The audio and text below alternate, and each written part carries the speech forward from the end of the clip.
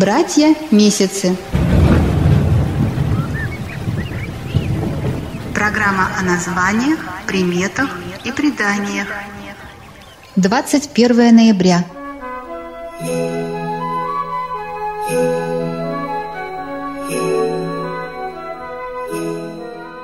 Михайлов день. В этот же период по одному из древних славянских календарей вспоминают Аристарха Мудрого. Сам праздник всегда отмечается широко, весело, хлебосольно. А почему бы не порадоваться? Если хлеб уже убран, и его пока более чем достаточно, деньги за часть проданного урожая еще не закончились. Основные работы позади, а по деревням одна свадьба другую переигрывает. Да и погода в этот день, как правило, на редкость для конца ноября теплой выдается. Недаром же в народе Михаил своими оттепелями знаменит. Но если день не туманом, а инием начнется, скорее всего, уже к вечеру повалит с неба ледяная крупица – Затенится пороша, кружась и подпрыгивая, пробежится по улицам и лягут на промерзшую землю большие сугробы снега. Что, впрочем, совсем неплохо, ведь снежная зима всегда предвестницей хорошего урожая считается. Да, среди русского народа сохраняется обычай в этот день еще и батюшку дворового ублажать и задабривать. Иначе мог он обидеться и к своему давнему приятелю Лешему в лес податься, а его место тут же нечистый занимал – в два счета пуская хозяйское добро по ветру. Поэтому рано утром, до восхода солнца, когда еще вся деревня спала, выносили хозяйки к дверям хлева большую чашу с пивным суслом и, ставя ее у порога, приговаривали «Соседушка дворовой, не ходи со двора, не губи скотину, не кажи лукавому пути дороги». Дворовым называют в народе бесплотное существо – дух, который, в отличие от домового, его старшего брата, не за домом, а за подворьем хозяйским присматривает, все свое внимание уделяя скотине. Говорят, что он неплохо ладит с козами и собаками, а из остальных животных больше всего отмечает своим вниманием лошадей, но только тех, что мастью напоминают цвет хозяйских волос и бороды.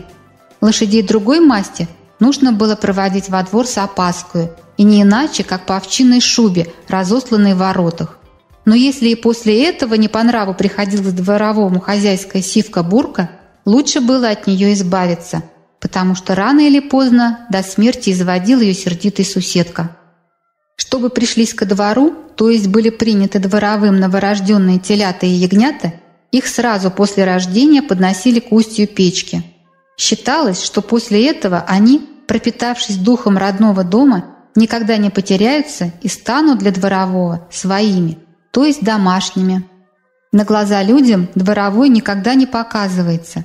Разве что один раз в году весной хозяин подворья мог упросить дворового выйти хоть на минутку для серьезного разговора. Для этого нужно было стать в дверях хлева зажженной свечой угощением, поклониться и произнести заговор. Говорят, после этого появлялся в дверях мужик, точная копия хозяина, и внимательно его просьбу выслушивал. Как правило, хороший хозяин всегда мог с дворовым договориться, а тот взамен лишь одного требовал, чтобы ни в сонной грезе, ни в пьяном виде, ни отцу, ни матери, ни папу, ни разбойнику не говорить о встрече и договоре, что заключен был. И если кто-то нарушал данное дворовому слово, он на подворье весь скот переводил, дом разорял, а обманщика порой доводил до самоубийства – Впрочем, человек серьезный и самостоятельный никогда бы не позволил себе данное слово нарушить, а хозяин, что сумел дворовому угодить, жил в достатке и благополучии. Мороз его посевов не бил, и скотина у него не болела, и в амбарах его хлеб не переводился, а домочадцы в мире и согласии пребывали. А вы дружите со своими незримыми помощниками?